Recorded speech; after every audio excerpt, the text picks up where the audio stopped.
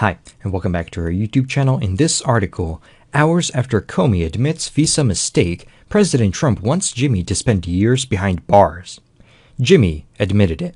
Now Trump is demanding consequences. Okay, former FBI Director James Comey officially admitted it.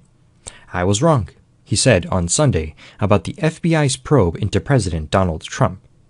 He was referring to the Bureau's controversial use of the Foreign Intelligence Surveillance Act FISA. This is exactly what got him fired, and he finally confessed.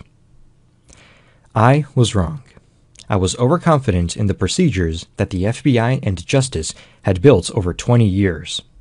I thought they were robust enough. It's incredibly hard to get a FISA. Darn right you are wrong, Comey.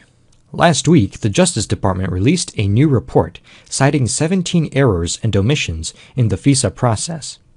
Obviously, this helps Trump's case. It indicates that the surveillance of former Trump campaign aide Carter Page was never right. But Donald isn't satisfied. No, he just jumped on Twitter and suggested that Comey should face jail time.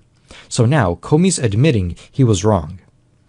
Wow, but he's only doing so because he got caught red handed. He was actually caught a long time ago.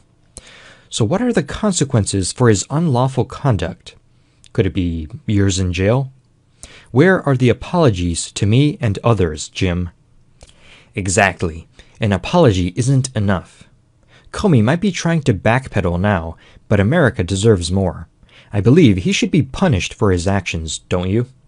And Trump wasn't finished on Twitter either. He then went after Justice Department Inspector General Michael Horowitz. As bad as the IG report is for the FBI and others, and it is really bad, remember that IG Horowitz was appointed by Obama. There was tremendous bias and guilt exposed. So obvious, but Horowitz couldn't get himself to say it. Big credibility loss. Obama knew everything. Remember, this surveillance happened in 2016 when Obama was still president and Trump was campaigning. So it makes a lot of sense to say Obama and his staff had a lot to do with it. Comey has already been fired in disgrace.